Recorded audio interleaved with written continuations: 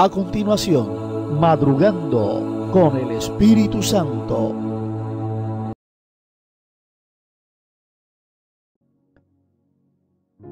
Buenos días, hermoso Padre Celestial. Buenos días, Señor Jesús. Buenos días, maravilloso Espíritu Santo de Dios. Gracias Espíritu Santo de Dios por levantarnos, por inquietarnos. Gracias maravilloso Espíritu Santo por consolar hoy nuestra alma, porque tú eres nuestro consolador. Gracias porque tú nos impulsas a adorar a Dios Padre, a pedirle perdón. Y hoy es una mañana de gloria, y hoy es una mañana de pedir una vez más perdón. Oh Padre Celestial, te pedimos perdón en esta mañana, reconociendo primero que tú eres el Dios Todopoderoso, que tú eres nuestro Creador, nuestro Formador. Te exaltamos Dios, te adoramos en esta mañana, Dios Padre. Reconocemos tu nombre, reconocemos tu presencia, reconocemos tu justicia, reconocemos la sangre de Cristo, reconocemos que tú, oh Padre, nos amaste de tal manera que enviaste a Cristo en esta tierra. Reconocemos que tú nos enviaste a tu Santo Espíritu para cuidarnos, porque dice tu, no, tu palabra, alzaré mis ojos a los montes, ¿de dónde vendrá mi auxilio? ¿De dónde vendrá mi consolación? Mi consolación consolación viene de ti, Padre, que hiciste los cielos y la tierra. Oh Señor, exaltamos tu nombre y te pedimos perdón, Señor. Oh Señor, por tu palabra, Señor, perdónanos. Perdónanos por amor a ti mismo, Señor. Perdona nuestra miseria, Señor. Te pedimos perdón por las almas, por Colombia, Padre Celestial. Te pedimos perdón por Colombia, porque Colombia cada día se destruye, Padre, en la drogadicción, oh Padre Celestial, en la prostitución oh gran yo soy, en la inmoralidad sexual, Padre. Pedimos perdón porque el mundo cree que tú estás quieto, que tú estás dormido, Padre, cuando tu palabra nos dice que tus ojos atalayan toda la tierra, Padre, y líbranos del ay tuyo, Padre, bueno, líbranos, Señor, y libra las almas que tienen una fe débil, Padre, pero que creen en tu nombre. Oh Señor, perdónanos, porque muchos dicen que te aman, que te sirven, pero están mintiendo, Padre Celestial. Perdónanos, Padre, oh Dios, y danos tu misericordia, porque la iglesia, Señor, nosotros no estamos preparadas, oh gran yo soy, para recibir, para tener ese encuentro con tu Hijo amado, oh Señor, en el día del arrebatamiento de tu iglesia. Oh Padre, perdona Colombia, oh Dios, porque tampoco está preparada como esa bella novia radiante, resplandeciente, para tener ese encuentro con tu Hijo amado en el aire. Ayúdanos, Padre, a prepararnos para estar sentados en las mesas de las bodas del Cordero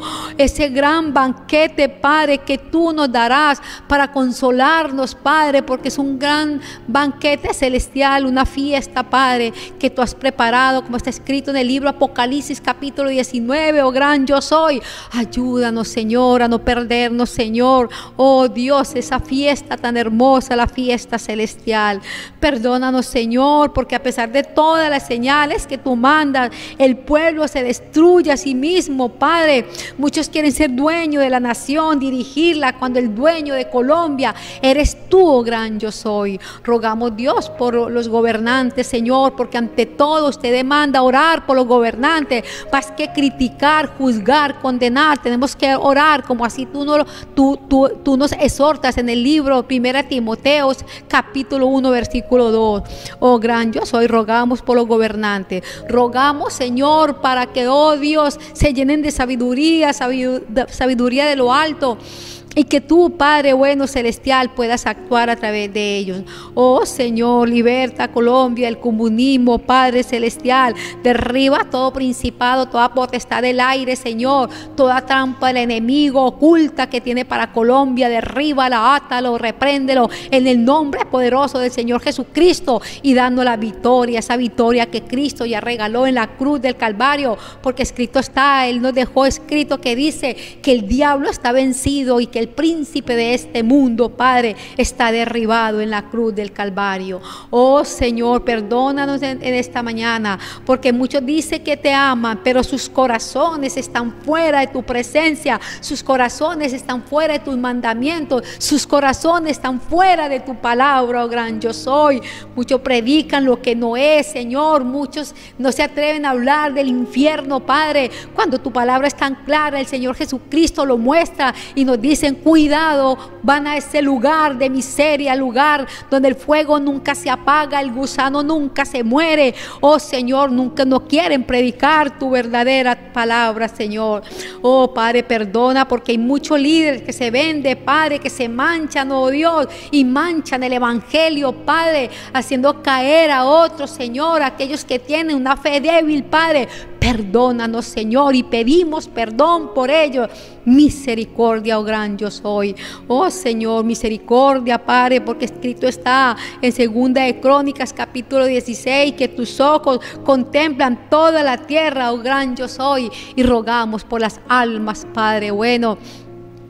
Porque muchas almas en este mundo están abusando de tu gracia, la gracia dada por el Señor Jesucristo en la cruz del Calvario. Muchos están malinterpretando tu palabra. Oh gran yo soy, perdónalo Señor y que tu buen espíritu les abra los ojos espirituales para que puedan salvar su alma y alcanzar la vida eterna. Te lo rogamos, te lo suplicamos en Cristo Jesús, Señor nuestro, que murió para darnos salvación. Oh, gracias Señor Jesucristo, gracias. Y te rogamos a ti, Señor Jesucristo, ayuda a aquellos que están abusando de tu gracia en Cristo Jesús. Amén. Y amén. Hermano en Cristo. Hoy vamos a estudiar una palabra que muchos están malinterpretando y que no sea su caso, que no sea mi caso y dale gracias al Espíritu Santo que hoy vas a escuchar palabra de vida eterna. Porque, sabe, muchos están malinterpretando lo que dice Dios Padre en Efesios capítulo 8. Mira lo que nos dice la palabra de Dios en Efesios capítulo 2, 8. Porque por gracia soy salvo, por medio de la fe. Y esto no de vosotros, pues es don de Dios. Y Efesios 9, no por obras, para que nadie se gloríe, no por obra para que nadie se gloríe. Es decir, somos salvos es por la gracia, por la gracia que Cristo nos regaló en la cruz del Calvario, por la gracia que el Padre nos, nos, nos regaló a través de Cristo Jesús, porque en estos tiempos nos cobija la gracia, porque si es por las propias obras, ¿dónde estaríamos, hermano? Y recordemos que Dios Padre es un Dios celoso, fuerte y temible, y que Dios no va con el pecado, y que Dios hizo el esfuerzo más, el esfuerzo más grande de entregar a su Hijo amado para darnos vida eterna. Pero muchos están abusando de la gracia. Muchos dicen, ah, no, llevemos vidas desordenadas, porque ya Cristo pagó todo en la cruz del Calvario. Ya Cristo pagó todo en la cruz del Calvario. Ya Dios nos perdonó a través de Cristo. Dice la palabra que Cristo no vino a esta tierra por pecadores, sino por justos, sino por los pecadores. Porque dice la palabra que Cristo eh, eh, eh, ama al pecador, hermano, y están abusando de la gracia. Y por eso es que vemos tantas iglesias distorsionadas. Por eso inclusive iglesia, iglesia donde los pastores son dos gays, donde las pastoras son dos lesbianas, eso ya se da porque abusan y hablan mucho del amor de Cristo, pero no podemos olvidar que tenemos que aprender a llevar una vida justa. Y aquí es donde nos ayuda el Espíritu Santo a llevar una vida justa delante de Dios. Y llevar una vida justa, llevar una vida justa delante de Dios significa luchar contra el pecado. No abusar de la gracia, no, no, no se vaya a estrellar, hermano, espiritualmente tenemos que llevar una vida conforme a la voluntad de Padre, una vida conforme a los mandamientos de la ley de Dios. Tenemos que luchar contra el pecado mientras estemos en esta tierra.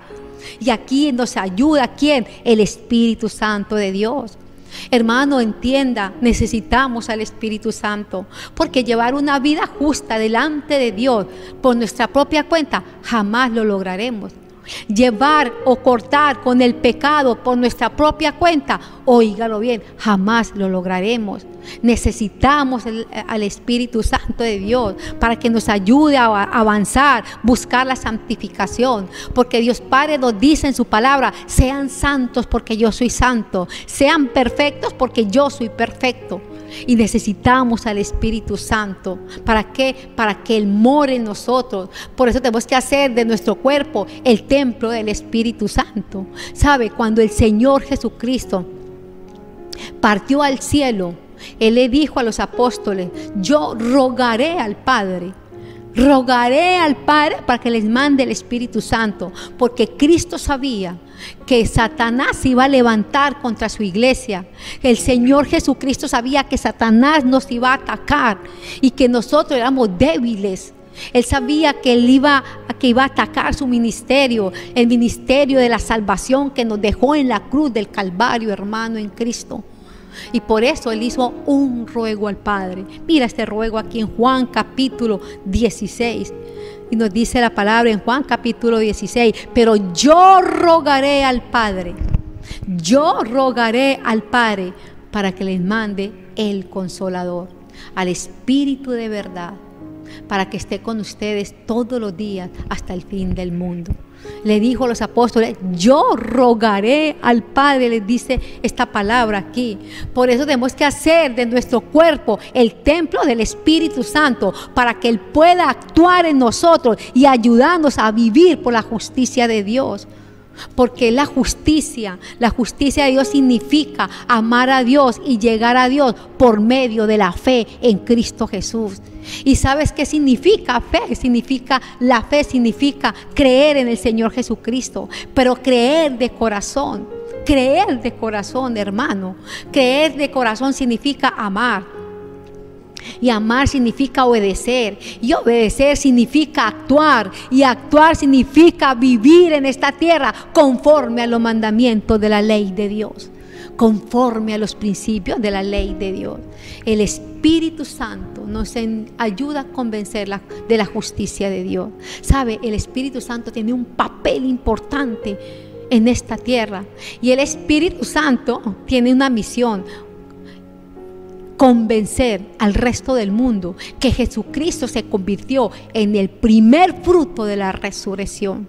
Y el, Espíritu Santo se encarga de convencer a otros de la justicia de Dios. Escrito está en el libro de Juan capítulo 14. Y por eso es que a veces vemos tantos testimonios eh, eh, hermosos. Por eso a veces vemos testimonios de exsatanistas convertidos al Evangelio. Vemos testimonios de musulmanes que alaban a, Mahoma y que su Dios es Mahoma y su profeta es Mahoma. Y vemos testimonios de musulmanes convertidos al Evangelio, al cristianismo. Son hermosos. Basta que usted se meta en YouTube y usted va a ver testimonios así. Y todo eso se logra mediante el poder del Espíritu Santo.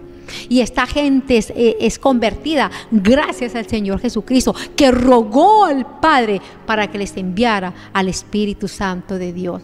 Pero yo rogaré al Padre, nos dice la cita bíblica, el Espíritu de verdad, el cual los guiará en este mundo y estará con ustedes para siempre. Qué agradecidos tenemos que estar con el Señor Jesucristo. Por eso tenemos que honrar al Espíritu Santo de Dios en esta mañana. Tenemos que honrar al Espíritu de Dios, que es el corazón del Padre, que Dios Padre se desprendió de su luz hermosa, de su poder, para que estuviera con nosotros en esta tierra tenemos que estar convencidos de la justicia de Dios, porque por gracia soy salvo, no por medio de la fe, nos dice. Nos dice, eh, eh, por gracia soy salvo, por medio de la fe. Y esto no es de vosotros, es don de Dios. No abusemos de la gracia, hermano. No abuse de la gracia llevando vida desordenada creyendo que como Cristo pagó en la cruz por nuestra miseria, nosotros podemos hacer y deshacer en esta tierra. No, hermano, tenemos que aprender a llevar una vida justa delante de Dios. Ahora bien, ¿cómo me doy cuenta que yo estoy viviendo por la justicia de Dios? Hagas esa pregunta como cristiano. ¿Cómo sé que el Espíritu Santo me ha convencido? de la justicia de Dios, hermano, porque ya no cometemos siempre el mismo pecado. Hay que revisar su vida. Usted tiene que hacer un, un check-in a su corazón espiritualmente y mirar si lleva 5 o 10 años cometiendo siempre el mismo pecado. No, hermanos. Todos los días cometemos errores, todos los días cometemos cierto pecado allí, allí, pero el mismo y grave y es el mismo Ojo hermano en Cristo de acuerdo a esta palabra, porque quizás no hemos dejado que el Espíritu Santo actúe en nuestro corazón. Quizás estamos abusando de la gracia. Ah, no, la gracia dada por Cristo. Ya Él pagó todo en la cruz del Calvario. Ya Dios nos perdonó gracias a Él. Llevemos vidas desordenadas hermano en Cristo, cuidado con porque eso es una trampa del enemigo, eso es un engaño de Satanás que está manipulando su mente. Tenemos que cortar con el pecado de acuerdo a esta palabra. ¿Sabe por qué el cristiano lleva años con el mismo pecado y con el mismo pecado? Porque no ha entendido los sufrimientos del Señor Jesucristo en la cruz del Calvario. No los ha entendido espiritualmente, no los ha entendido, hermano, en Cristo. Necesitamos al Espíritu Santo, porque cuando nosotros entendemos el sufrimiento de Cristo en la cruz del Calvario, nuestra vida tiene que ser diferente y tenemos que aprender a llevar vidas ordenadas conforme a la voluntad de nuestro Creador, nuestro formador, de nuestro Dios Todopoderoso. Llevar una vida justa significa creer y amar los sufrimientos de Cristo. Nada será un problema para nosotros cuando entendemos realmente los sufrimientos de Cristo. Y si llegan tempestades y si llegan problemas, pues se resuelven muy pronto por los sufrimientos de Cristo. Gracias Señor Jesucristo por tu, tu, cruz. Gracias por esa sangre derramada en la cruz del Calvario. Gracias por darnos vida eterna. No tenemos excusa Señor Jesucristo porque el diablo está vencido. Usted lo venció en la cruz del Calvario. No tenemos excusas cuando estemos delante de tu tribunal. Ayúdanos Espíritu Santo a llevar una vida justa, una vida recta delante de Dios Padre para cuando estemos enfrentando oh, delante de ese Dios todopoderoso, el juicio de Él, ese juicio que está establecido en Apocalipsis 20:11, no tengamos, Padre, de qué arrepentirnos, sino que estemos parados de pie, llenos de tu gloria en esos momentos. Ayúdanos, Espíritu Santo, para que permanezcamos en gloria, en gloria, cuando estemos enfrentando el tribunal de Cristo, como está escrito en tu palabra. Ruego, Padre, por el que está conectado con tu Santo Espíritu. Ruego por él para que se deje guiar por el Espíritu Santo, para que se deje guiar por la justicia de Dios, para que lleve una vida justa delante de ti. Ruego por su familia, ruego por sus hijos, ruego Padre, para que tú como siempre te lo pido, cumplas el anhelo de su corazón y le ayudes, Padre, y lo libertes de tanta presión, de tanta tristeza, de tanta angustia, Padre Celestial. Oh, gran yo soy. Eres hermoso, eres gentil y eres verdadero. Padre, gracias, Señor. Nos quedamos en esta mañana con tu bendición, Padre. Iniciamos el día con tu bendición. Danos tu bendición, Padre Celestial. Danos tu abrazo. Danos tus besos, Padre Celestial. Abrázanos con tu amor y nos quedamos en tu presencia con la bendición del Padre, con la bendición del Hijo, con la bendición del Espíritu Santo. Amén y amén. Hebrón TV, la señal que te bendice.